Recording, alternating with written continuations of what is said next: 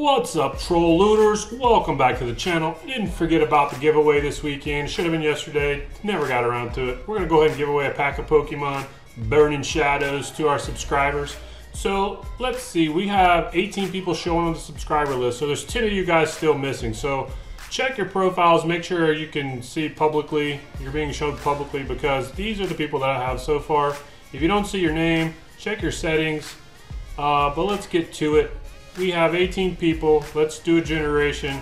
Number seven. Number seven is one, two, three, four, five, six, seven. Nicholas Enrique DC. If you will send me your information, I'll get you out your pack of Pokemon Burning Shadows. Congratulations on your win. Keep in mind, we're still going after this troll. So let's take a look at him right now. We're still near 72. You've got the Pikachu tin that's being given away if we defeat this boss by September 13th. Uh, time's running out, folks. We also have the potential for the Pokemon Go dropping. So uh, we're going to roll a 10-sided dice. If it's 5 or higher, whoever wins the Pikachu tin also wins the Pokemon Go Plus.